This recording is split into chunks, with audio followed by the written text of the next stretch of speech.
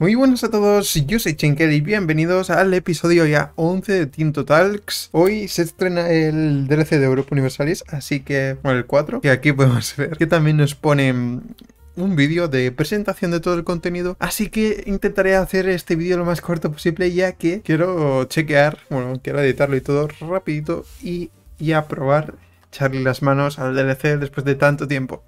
Así que vamos a darle caña. Hoy veremos el tema militar será la primera vez que, lo toquemos dentro del Project Kaiser, Tinto Talks o Europa Universalis 5, como quieras decirlo. Vamos a hablar de la diferencia entre mercenarios, regimientos regulares y levas también. Así que vamos a darle caña. Organización militar. Aunque hay una gran cantidad de diferentes tipos de unidades, todos pertenecen a una de las cuatro categorías principales. Hay cuatro categorías como tal. La infantería, la caballería, la artillería o los auxiliares. La infantería suele ser el grueso de la mayoría de los ejércitos y las otras categorías tienen roles más específicos en una campaña. El tamaño de un regimiento varía con el tiempo, con los primeros regimientos de infantería utilizando 100 hombres y va progresando el regimiento hasta llegar a tener 3200 hombres. Voy a locura, está guapo. Eso en cada eh, regimiento de infantería concretamente. Las unidades de caballería, artillería y auxiliar y los auxiliares tienen también diferentes tamaños. También se categoriza un regimiento como leva, mercenario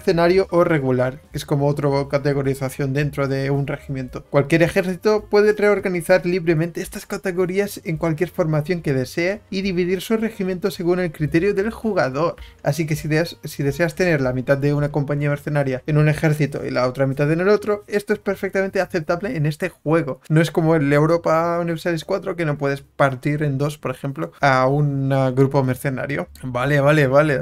Esto es ya, eh, empezamos ya fuerte con el tema de cómo se organizan y cómo se pueden componer y demás. aquí vemos, por ejemplo, los, la caballería. Esto es una unidad de un tipo de unidad de caballería. Arqueros a caballo. Nos pone eh, los recursos para construir, los recursos para mantener y las estadísticas que tienen. Por ejemplo, tienen una food consumption y tenemos varias habilidades. Eh, habilidad de flanqueo, que esto también viene del Europa Universalis 4. Iniciativa, velocidad de combate, velocidad de movimiento, lo que puedan almacenar comida interesante.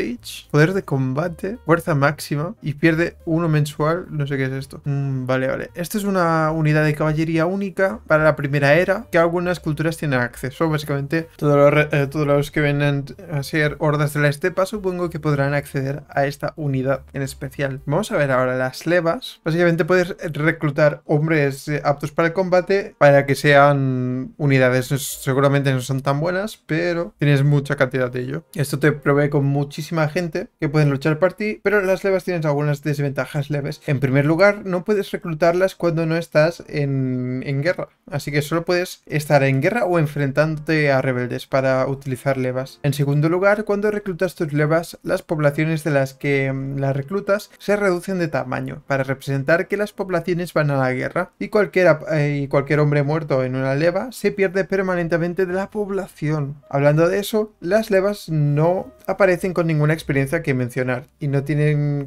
control directo sobre el tipo de unidades que obtienes. Vale, es una, es una forma de obtener a cambio de unas desventajas tropas para si te están invadiendo o lo que sea, yo creo. Otra ligera desventaja es que las levas no se refuerzan durante una campaña. Una provincia donde se han reclutado levas también producirá menos alimentos y materias primas. Puedes reclutar todas las levas o desde cualquier provincia individualmente. Interesante. Y aquí podemos ver todas las levas de todos los sitios de Escocia, eh, Escocia, que digo, de, Suecia. En toda Suecia puedes conseguir 12.000 hombres de levas. Vamos ahora con los mercenarios, que yo creo que es lo que dominará de cierta manera el early game, yo creo, porque es como un setting más medieval y en la época medieval sobre todo se daban a putiasos a través de o levas o mercenarios. Supongo que, por ejemplo, en Alemania y en Italia estará mucho más expandido el hecho de utilizar mercenarios, por ejemplo. Mercenarios. Hay muchas compañías mercenarias disponibles en el mundo y cada área tiene al menos algunas posibles para reclutar. Sin embargo, estos no son una mano de obra gratuita infinita, ya que otras naciones pueden reclutarlos antes que tú. Una compañía mercenaria firma un contrato de al menos dos años, pero puedes extender el contrato si así lo deseas. más sobre cómo se pueden reclutar mercenarios mercenarios en una Tinto Talk posterior, ¿vale? Después tenemos los regulares, los regimientos como tal. Tu ejército regular consiste en los regimientos que no deseas disolver y que requieren mano de obra para reclutar. Sin embargo, este reclutamiento no se puede hacer en todas partes, ya que necesitas edificios especiales para permitir el reclutamiento de unidades militares. Por lo general, estos son el mismo tipo de edificios que también te proporcionan mano de obra. A medida que pasan las eras, pasas de solo algunos edificios especiales que proporcionan una cantidad minúscula de mano de obra a poder construir centros de conscripción, como en el caso de Victoria, creo, en ubicaciones de tu cultura principal. Vale, después tenemos el manpower, la soldadesca. Hablando de soldadesca, en en Project Kaiser esto se genera principalmente mediante edificios. Ahora puede que te preguntes, ¿por qué necesitamos mano de obra o soldadesca si tenemos población? Bueno, para nosotros la mano de obra representa a los hombres más o menos semi-entrenados que pueden ser utilizados en una fuerza militar. El manpower es dentro de la población la gente que realmente puede acceder a ser militar, yo creo, yo es lo que pienso. Y lo que es importante, cada vez que un regimiento pierda fuerza, ya sea por desgaste o combate, también perderás poblaciones. Ok. Mira, tenemos un tipo de edificio, Kurultai, que te da soldadesca mensual más 50. Y aquí puedes reclutar en esta localización, puedes reclutar regimientos. Esto es lo que necesitas para construir y esto el método de producción, lo que se requiere. Vale, está muy guapo. Este es un edificio único para las hordas de la estepa mongolos. Los mongoles de la hordas, las hordas de la estepa, ok. Antes de, seguir, por eso, de poco se habla de esta pedazo de ilustración que tenemos por aquí, que se nos han presentado, de la Guerra de los 100 años. Podemos ver las banderas de los ingleses, el escudo y todo, y los eh, franceses. Bastante, bastante guapo. Me ha gustado mucho. Representando bien la caballería francesa, los arqueros de tiro largo ingleses. Está bastante guapo. Bueno, vamos a seguir, ¿no? No me paro mucho a analizar absolutamente todo. Básicamente, mira que lo comentan. Shout out, shout out a los artistas. Esto es un top notch art. Sí, es verdad que es buenísimo el arte. Este. Vamos a continuar para que me lío, que tengo que jugar a Wind of Change. Otro aspecto a tener en cuenta cuando se trata de soldadesca es que Project Kaiser no tiene límites de fuerza, sino que estás limitado por la cantidad de regimientos que puedas mantener. Cada regimiento requiere algo de soldadesca cada mes para mantener el nivel actual de tropas. También requiere una cantidad justa de bienes cada mes, y si no tiene acceso a ellos, la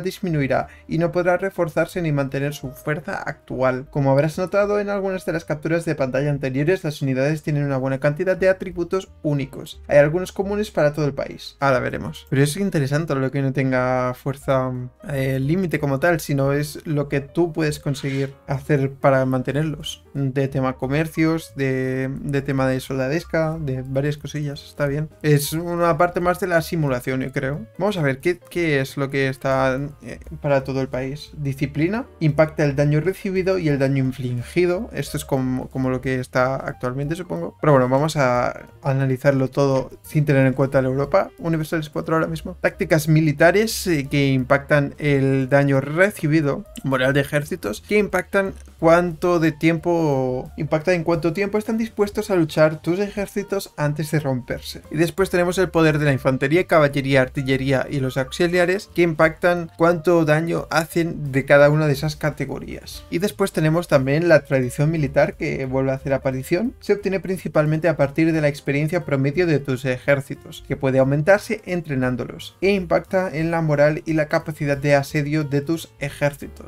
Como una profesionalidad militar algo así también similar a lo que está en, entrenar ejércitos en Hearts of Iron, algo así. Mientras que también te empuja lentamente hacia los valores sociales terrestres en comparación con los navales, ¿vale? Esto no es todo lo relacionado con lo militar, ya que también tenemos planificadas Talks sobre las armadas, la logística y nuestro sistema de combate. Sin embargo, la próxima semana volveremos con algo completamente diferente y algo único, un plan, algo único que no se ha visto en ningún otro juego de gran estrategia, supongo. Así que me tiene entregado. ¿Qué debe ser la semana que viene? No tengo ni idea. Pero bueno, eso es todo por este vídeo. La verdad es que voy rusheadísimo. Espero que os haya gustado. Si es así, dale un like. Suscríbete si quieres ver más. Déjame en los comentarios qué te ha parecido. Estate atento al canal porque subiremos bastante contenido del nuevo DLC de Europa Universalis. Y sin nada más que decir, decir, decir, nos vemos en la próxima. Adiós.